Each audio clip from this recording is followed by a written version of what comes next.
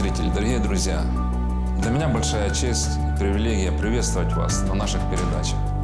Для нас великое благословение служить вам.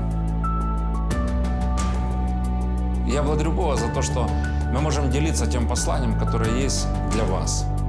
Я верю, что это слово, которое оказывает влияние, приносит плод в Царство Божье. То, что мы делаем как церковь, мы совершаем надлежащее нам поприще на этой земле, достигая недостигнутых, приходя в поселки, деревни, где никогда не звучало Евангелие, где люди говорят, почему вы раньше не пришли к нам? Мы несем туда весть. Я вдохновляю вас. Присоединяйтесь к нам. Мы нуждаемся в вашей поддержке, молитвенной, финансовой, в том, чтобы, может быть, приехать и провести время с нашей командой, пойти в какой-нибудь отдаленный поселок. Есть огромная нужда в том, чтобы Божье Слово пришло туда. Пусть Бог благословит вас. Присоединяйтесь.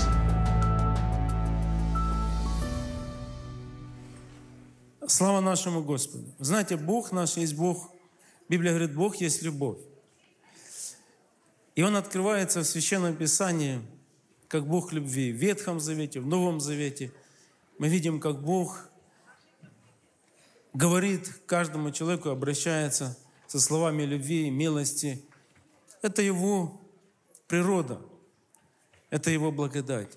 Вместе с этим Бог справедливый, многомилостивый. И Библия говорит, что страшно впасть в руки Бога живого, потому что Он есть огонь поедающий. Это тоже Его природа. Но тем не менее, милость превозносится над судом. И Бог говорит в Своем Слове, что не желаю смерти грешника, но чтобы все обратились и спасены были. Я сегодня хочу немножко поделиться и очень простым словом. Хочу вам предложить два коротких стиха. Первое место Писания – это Евангелие от Иоанна, 14 глава, 15 стих. Записано так. «Если любите Меня, соблюдите Мои заповеди». И второй стих мы прочитаем первое послание Иоанна, 3 глава, 16 стих. Здесь записано так. Любовь познали мы в том, что Он положил за нас душу свою. Я хочу сегодня говорить на два простых момента, которые здесь содержатся в этих стихах. Первое – это наша любовь к Богу. И второй стих – это Божья любовь к нам.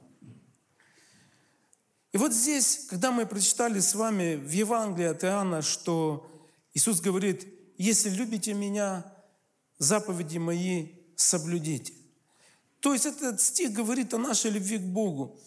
Прежде хочу спросить, друзья, как вы думаете, вообще христианство в целом, в чем оно заключается? Какое главное вот содержание христианства? Что главным является в христианстве? Наверное, любовь. Любовь содержится не просто в нашем разуме, она содержится в сердце, потому что сердце – это тоже главное в человеке. Больше всего хранимого храни сердце твое, потому что оттуда источники жизни. Любовь побуждает, любовь движет, любовь рождает, любовь сохраняет, любовь вынашивает, любовь, как Павел говорил, она не перестает, она все переносит, языки умолкнут, любовь не прекратится. Любовь верит, она надеется, она ждет, она покрывает – много-много что делает любовь. И любовь – это то, к чему должен стремиться каждый христианин. Любовь – это настолько важно для нас, что, я думаю, без преувеличения скажу, мы не даем себе отчета, если мы не испытываем себя на вот этот вот предмет. Помните, когда Петр отрекся, и первая встреча с Господом, когда они встретились, Господь говорит ему, трижды задает один и тот же вопрос. Петр, любишь ли ты меня? Я думаю, что мы должны задавать себе вот этот вопрос. Любим ли мы нашего Господа? Это вопрос главный. И суть не в том даже, что мы делаем, но Бог, Он взвешивает нас по нашим намерениям. Потому что дела могут быть выглядеть и красиво, но Бог смотрит суть. Он смотрит мотив, Он смотрит в сердце, Он смотрит то, почему мы это делаем – может быть, мы делаем не из-за любви, а потому что мы мотивированы какой-то корыстью, гордостью, тщеславием, чем угодно. Поэтому Бог Улыбка, если есть у нашего Господа, то это от того, что мы что-то делаем с любовью для Него. Он может принять только то, что сделано с любовью для Него. Аминь, братья и сестры. И более того, знаете, как в Библии есть. Помните, апостол Павел говорит, что Господь грядет, Маранаафа. И он говорит, да будет анафема всем, кто не любит Господа. То есть самый страшный день для человека, когда Господь придет, и окажется, что мы не служили Ему в любви. Самое страшное, когда мы думали, что мы Ему служим, следуем, а потом, когда Он придет и отделит нас не на ту сторону, которую мы хотели бы попасть, а та сторона, по правую сторону, когда Он будет отделять, друзья, поверьте, там будут только те, кто любил Господа, кто следовал за Ним. И вот здесь Иисус говорит, в чем состоит любовь к Богу. Конечно же, многие из нас по-разному понимают любовь к Богу. Некоторые думают, что любовь к Богу – это нужно уйти куда-то там в келью, в одиночество, обрить голову, одеть на себя какие-то вретища, жить в лесу, никого не видеть, жить отдельно для, от людей и любить Господа. Некоторые думают, что вот такая вот любовь, она вот настоящая. Я не берусь судить этих людей, но я думаю, друзья, что это не так. Некоторые думают, что нужно оставить определенный род занятий, профессию, оставить... Дети их дома нуждаются, испытывают недостаток в хлебе, жены их плачут, но они настолько святые, они настолько любят Господа, что они вот просто вот с Господом всегда. Для некоторых любовь – это чувство, переполненное, какое-то переживание, какое-то вот такое просто чувство. И мы, если делимся этими чувствами, говорим друг другу, мы так любим, мы так, я без тебя жить не могу и так дальше. Но согласитесь, друзья, это недостаточно. Просто испытывать чувства. Потому что любовь – это не чувство, а дела – Иисус Христос показывает связь, прямую связь, что наша любовь к Нему – это наше отношение к Его Слову, к Его заповедям. Так вот, говоря о заповедях Божьих, друзья, хочу сказать, что но многие не знают их. Как же мы можем научиться любить Господа, если мы не знаем заповедей? Согласитесь, нереально это. Мы не можем любить Бога, если мы не знаем Его заповедей. Библия говорит, заповедь Его не тяжелая, она легкая, она не сложная. Но для кого-то сверхсложно, для кого-то заповедь, ну, мы сами поставили далеко от себя заповедь. Почему? Потому что мы ее не совсем понимаем. Наша природа еще такова, что мы не, не готовы исполнять эти заповеди. Мы еще не готовы прощать врагов, благословлять проклинающих, Поэтому мы говорим, как бы не понимая заповедь, но я еще не дорос до этого. Друзья, я могу спросить, а делает ли это для нас какое-то исключение? Если в силу моего невежества, духовного непонимания заповеди Божьей, делает ли это для меня какое-то извинение или исключение? Нет. Господь говорит о всех заповедях, что они жизненно важны для нас – если Библия говорит, Иисус так сказал, что когда придешь к жертвеннику и вспомнишь, брат твой имеет что-то против тебя, пойди, при, оставь дар твой, пойди примирись с братом, а потом вернись и принеси. Но многие из нас, мы из года в год живем, вынашивая и взращивая какую-то боль, какую-то обиду, какую-то горечь, и мы наивно полагаем, что наше служение будет приемлемо Богу, мы сильно ошибаемся, потому что Его Слово говорит очень ясно определенно, нужно оставить дар, пойти и примириться. Я рос еще в, в той церкви, и я помню, как многие люди уже в таком возрасте, они будучи 20, 30, 40 лет в церкви, я слышал от моих родителей, как, слава Богу, некоторые из них – они, когда уже были на одре болезни, они приглашали в дом свой тех людей, кого-то своих родных, близких, с детей, может быть, даже, с кем они годами, десятилетиями не могли разговаривать, видеть не могли. Но перед смертью Они сильно хотели увидеть, попросить прощения, примириться. Почему? Потому что вот умирать надо, и вот она смерть. Вот нужно предстать перед Богом. И, к сожалению, вот это осознание приходило так поздно. Библия говорит, если видишь ногу, одень. Какие заповеди Божьи? Они простые. Молиться за проклинающих, за обижающих.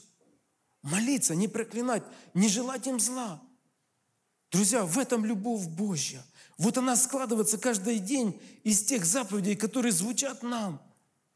И насколько мы нас относимся к этому слову, насколько мы исполняем это слово.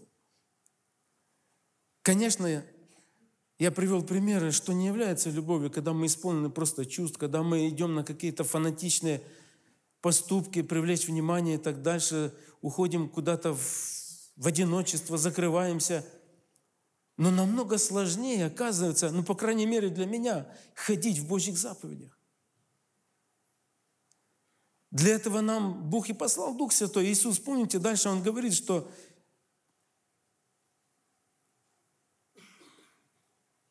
Если любите меня, заповеди мои соблюдите, и я умолю Отца и даст вам другого утешителя, да пребудет с вами. Присутствие Божьего Духа для того, чтобы нам иметь эту способность исполнять Его заповеди. Запомни, друг мой, Дух Святой не будет тебе помогать в том, когда ты вынашиваешь какую-то боль, в том, что ты вынашиваешь обиду, в том, что ты вынашиваешь гордость или еще что-то. Дух Святой не будет в этом помогать. Он помогает в нашем желании ходить в Божьих заповедях. Это важный вопрос, потому что это моя любовь к Богу. И когда мы придем перед Богом, вот этот вопрос будет, вот это будет критерий, определяющий нашу жизнь, наше служение, наше христианство, наши дома, наши семьи, наши отношения – и если будет звучать вопрос, звучит вопрос, почему я не люблю этого человека, или почему я поступаю с этим человеком так или иначе, вопрос только в одном. Люблю я его или нет? Друзья мои, но как говорит Новый Завет? И когда говорит Господь о новой заповеди, что Он имеет в виду? Новую заповедь. Неужели это какая-то другая заповедь? Ведь уже сказано в Ветхом Завете, люби ближнего твоего, как самого себя, а Господа всем сердцем, всем разумением, всей крепостью. Но заметьте, апостол Павел в послании Ефесянам говорит, обращаясь к мужьям, как мужья должны любить своих жен. Кто-то помнит это местописание? Оно часто звучит в церкви. Мужья, любите своих жен, как? Как нужно любить? Как? как и Христос возлюбил кого? Церковь. Я хочу, чтобы вы увидели разницу. В Ветхом Завете звучит, возлюби ближнего твоего как? Как самого себя. А здесь, на мой взгляд, это уже такая немного больше любовь. А как мы любим сами себя? Если мы спросим, как мы сами себя любим – то окажется, знаете, что мы порой себя не можем снести, терпеть, можем сами себя обозвать. А Христос как возлюбил церковь? Он предал себя за нее. То есть вот новая заповедь, что мы должны стремиться к вот такой любви, жертвенной любви. Мы должны стремиться к этой любви. Я не говорю, что мы достигли этой любви, но, друзья мои, мне кажется, что Писание побуждает нас, указывая на вот эту любовь Божью, которая открылась нам, которая звучит, обращается, которая показана нам в примере, когда Иисус умер за себя, отдал себя за нас. Жертвенная любовь. И я хотел бы перейти вот ко второй части, это любовь Божья к нам. Вот любовь Божья к нам. А ты спросишь, какая любовь Божья ко мне? Мы часто сталкиваемся с людьми, которые не понимают и не принимают Божью любовь. И нам, конечно, больно, глядя на людей, которые отвергают Божью любовь. Бог протягивает им свою руку, Он обращается к ним, но они не принимают ее. Если вы обратитесь в Ветхий Завет, многие почему-то делают вывод, что вот в Ветхом Завете Бог такой. Но Он не изменился, и Он Бог любви в Ветхом Завете. И если вы прочитаете со мной Исаию 43 главу, где Бог говорит своему народу, как сильно Он его любит, вы будете шокированы той любовью, которой Бог обращается. Ныне так говорит Господь, 43 глава сотворивший тебя, Иаков, устроивший тебя, Израиль, не бойся, ибо я искупил тебя. Назвал тебя по имени твоему, ты мой. Будешь ли переходить через воды, я с тобой. Через реки ли, они не потопят тебя. Пойдешь ли через огонь, не божешься, и пламя не опалит тебя, ибо я Господь, Бог твой, Святой Израилев, Спаситель твой, выкуп за тебя отдал Египет, Эфиопию, Савею за тебя – вы можете поставить свое имя на место Иакова.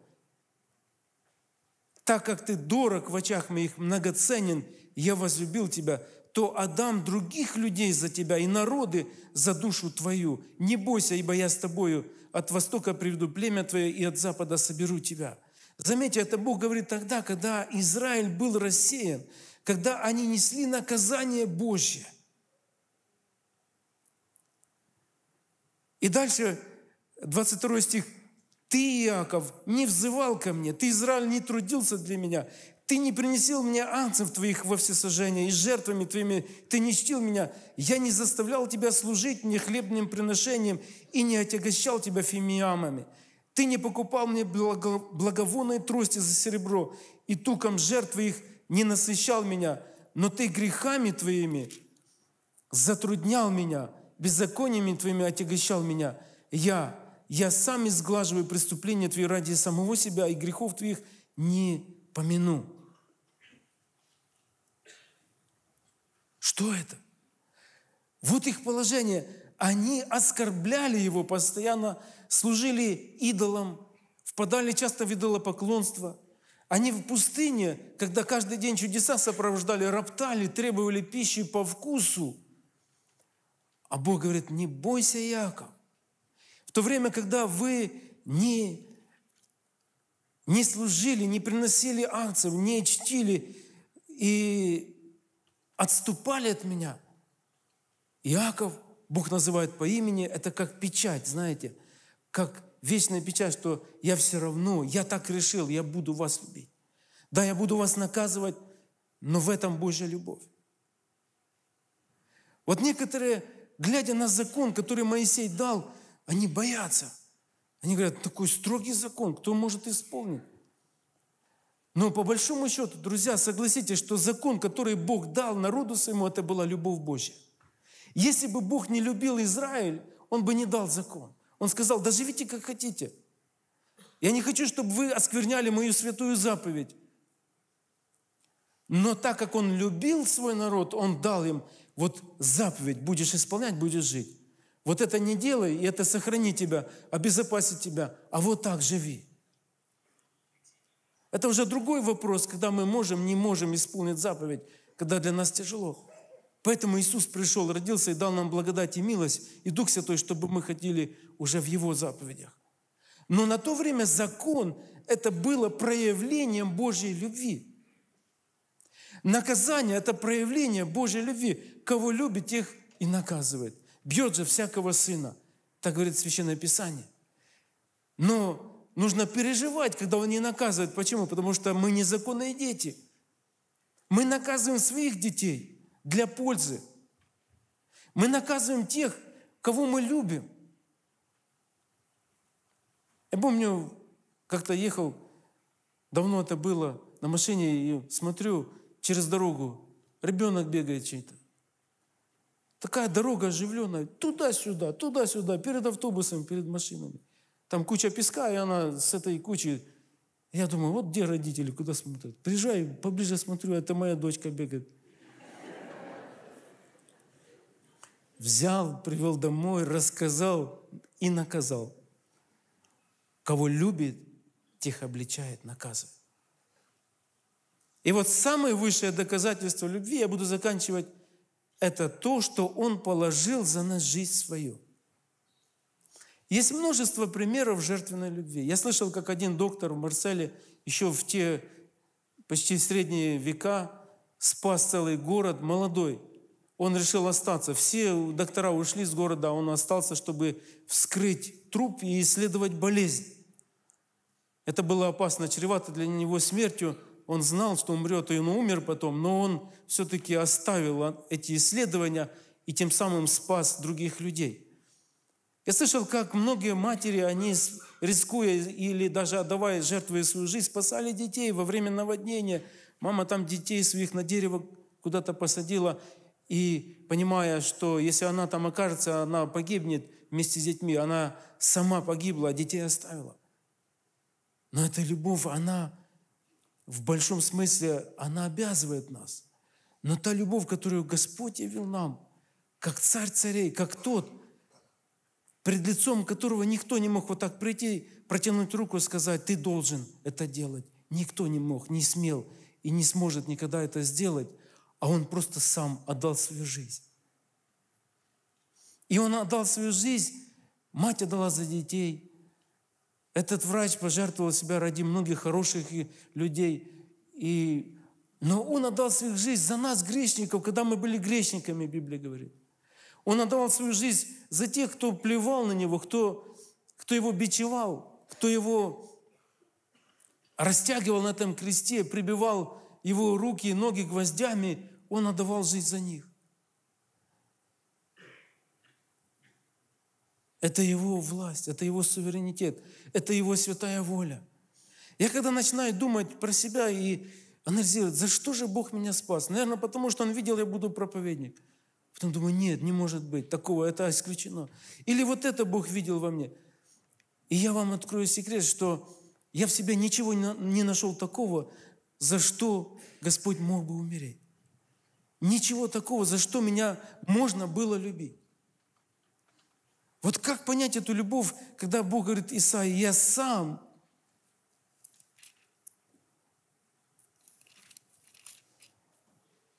и сглаживаю преступления твои ради кого?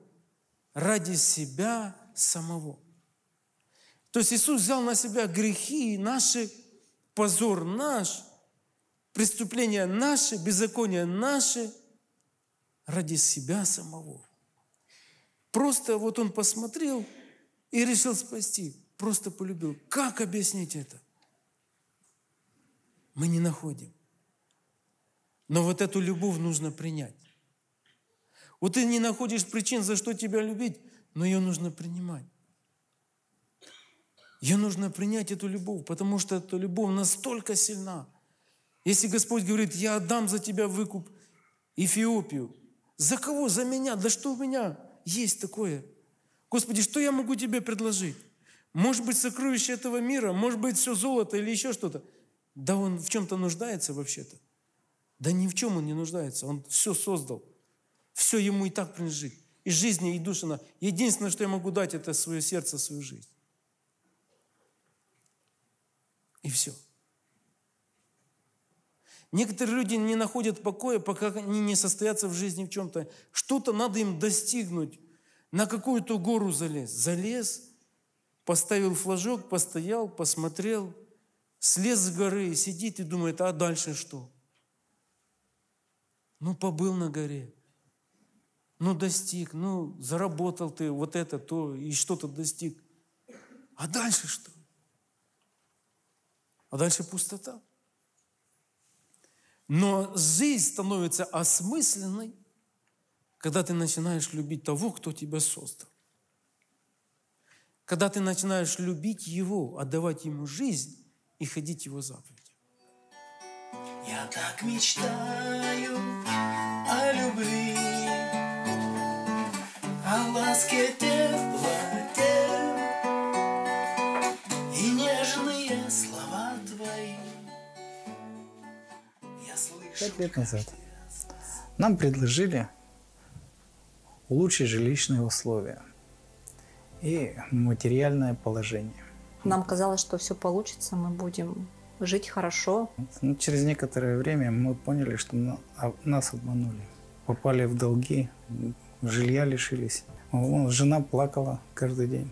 Думала, дети наши долги будут оплачивать. Ну, потому что это исчислялось миллионами. Мы должны были миллионы. И я понимала, что нам никогда не расплатиться с этим, что просто-напросто эти долги останутся на наших детях. Это было ужасно. Ну, на все это еще коллекторы, представители банка, осуждение родственников. В общем, наш мир рухнул. Вот. Мы пошли к пасторам, рассказали. Когда за нас молились и пастыра, и, Братья и и сестры братья и молились. сестры молились за нас, и посты брали, Сами мы бы одни не справились. это точно. Просили у Бога не материальных благ, мы просили у Да. Бога, чтобы остаться верными Ему. Случилось вот просто чудо. Вдруг, вдруг раз и пришел мир. пришло прощение, прощение вот этих людей. Вроде бы вот, ну ничего, ситуация ведь не изменилась. Вот как были долги, так они и есть. Вот как нам казалось, что вот э, и дома не было, и крыши над головой, не знали, куда деваться, но мир-то пришел в сердце. В духовном мире все изменилось кардинально. А потом, через некоторое время, стал, стало все меняться и в материальном мире. Бог устроил так, что мы сумели построить дом, Мы избавились от долгов, представляете, у избавились нас... от долгов. Да. Ну и Бог благословил нас третьим ребенком. Мы поступали, как написано в Слове Божьем. Это наше свидетельство и наша вера в Бога. Семь лет мы жили э, вот в этой ситуации. Бог обр- обратил, все во благо обратил. Все, все, вся эта ситуация, мы из нее вышли ну, в прибыль, в духовном и материальном. Слава Богу, что Бог нам помог. Я так мечтаю о любви, о ласке теплоте и нежные слова. Так и нужно делать. Как сказано, если прощаете, значит прощайте. Бог даст силы простить. Если у нас сил нет, у Бога есть. Он источник всего.